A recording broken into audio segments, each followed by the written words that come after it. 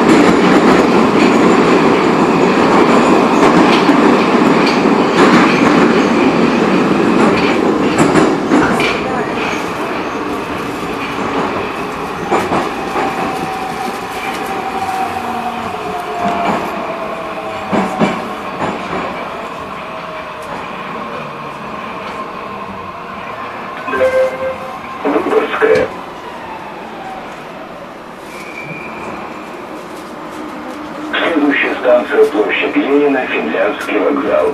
Позже.